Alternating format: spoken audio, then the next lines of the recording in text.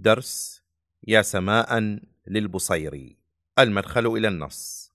تقديم المدائح النبوية فن أدبي يعبر فيه الشاعر عن حبه للرسول صلى الله عليه وسلم بتعداد مآثره وذكر مناقبه وهي باب من الأدب الرفيع لأنها تصدر عن قلوب مفعمة بالصدق والإخلاص والإعجاب بشخص الرسول صلى الله عليه وسلم والتناهي في حبه. وأكثر المدائح النبوية قيلت بعد وفاة الرسول صلى الله عليه وسلم.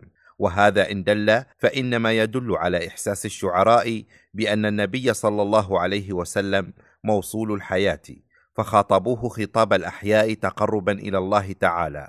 وقد ازدهر الفن في كنف التصرف وبلغ شاوا كبيرا حتى أصبح غرضا من أغراض الشعر تفنن فيه بعض الشعراء أمثال البصيري. الذي أعجب بقصائده شعراء جاءوا بعده فعارضوها ونسجوا على منوالها كأحمد شوقي.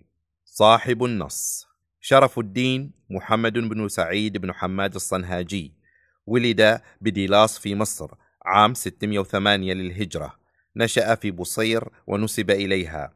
توفي في مدينة الأسكندرية عام 696 للهجرة.